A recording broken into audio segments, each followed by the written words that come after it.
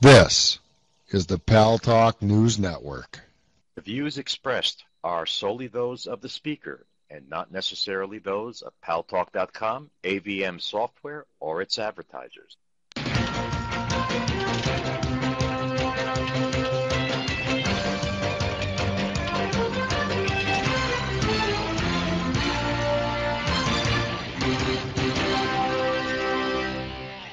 Talk is online. News Talk Online is a production of paltalk.com, the largest multimedia interactive program on the internet with more than 4 million unique users on demand on iTunes and on YouTube and on my blog, GaryBaumgarten.com, where you're encouraged to post your comments, whether you agree with yours truly or not. No retribution. And thanks to our good friends at CRN Digital Talk Radio, we're syndicated – to an additional 12 million households. I am your host, Gary Baumgarten. I welcome you to the show. Well, a couple hours ago, uh, we carried live here on the Paltalk News Network the very solemn memorial service at Fort Hood uh, for uh, the shootings there. Uh, 13 people dead last week, Thursday, allegedly by U.S. Army Major Malik Nadal Hasan. New developments in the investigation overnight we now know that the FBI intercepted communications between Hasan and an imam in Yemen who had ties with two of the 9 11 hijackers. But in the course of that investigation, they determined that Major Hasan was just doing research for his work as a psychiatrist at the Walter Reed Army Hospital, and uh, they went no further with the investigation. To me, and let me add this caveat uh, that uh, the FBI is at a disadvantage here because there may be some aspects of this investigation that they are not at liberty to make public. So there may be some things that we are unaware of, and as a result, we may reach conclusions or assumptions that are not right. But on the face of it, it would seem to me that there was plenty of evidence there to suggest that this individual uh, was uh, not of the proper f- frame of mind to be a psychiatrist to people returning from Afghanistan and Iraq with both physical and emotional wounds. And further, not a candidate to be sent into either of those theaters of war uh, because of the information that both the Army and the FBI had about him. And yet, perhaps, as I suggest in my piece on the Paltalk News Network site, paltalknewsnetwork.com, there are some parallels between this situation and September the 11th, 2001, where a field FBI agent became aware of the fact that some uh, Muslim individuals were taking flying lessons, but they weren't learning how to take off and they weren't learning how to land and set that information through channels to Washington, D.C., where it basically ended up in the dead letter file because the agent was not assigned to counterterrorism work. And so the concerns that were forwarded to D.C.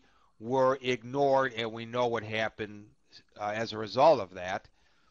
Uh, the tragedy of September the 11th, 2001, that with that information, had they followed up, perhaps, we, there are no guarantees, but perhaps the attacks could have been thwarted. And I'm beginning to wonder, as a result of what the U.S. Army knew about Major Hasan and the FBI knew about Major Hasan, why wasn't something done to remove him from the environment in which he was, which led to the tragedy of Thursday last.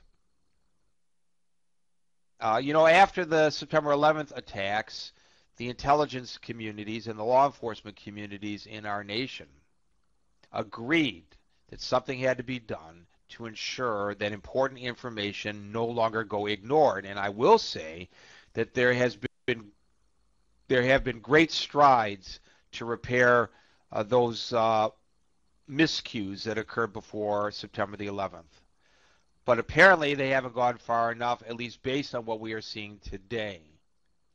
Now, one of the things that the agencies pledged to do is to not keep information that they received to themselves. They pledged to share it with other agencies that are involved in the fight against terrorism.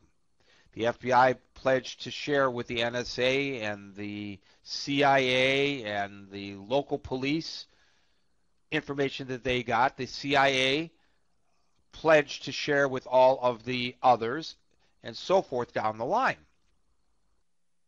The Pentagon is now saying that it was unaware of what the FBI knew about Major Hasan's communications with this imam in Yemen. Now, it's hard to believe that nobody in the Army Criminal Investigations Services was aware of this uh, because the FBI was investigating a major in the United States Army.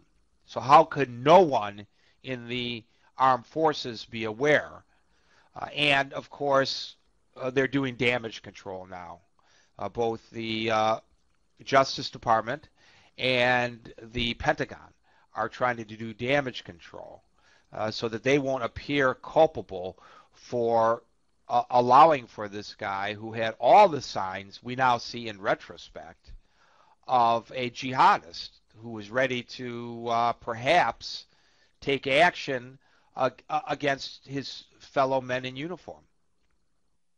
His state of mind wasn't particularly good. They were aware uh, that his beliefs and his proselytizing, uh, which is not permitted, a uh, a an officer in the armed services is not supposed to proselytize a religion to his subordinates, and clearly, a mental health care giver is not supposed to be proselytizing his beliefs to his patients. So they were aware of it to the point where they gave him a poor performance rating. So they can't say that they did not know that Major Hasan was a potential problem.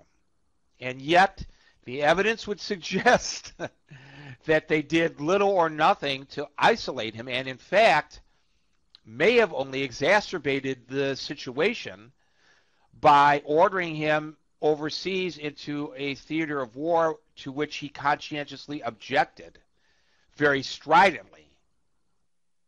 And I recognize that it's not quite the same as an armed member of the military conscientiously objecting, and perhaps if that were the case, if Major Hasan had been an infantryman, for example, perhaps they could have assigned him to a non combat function.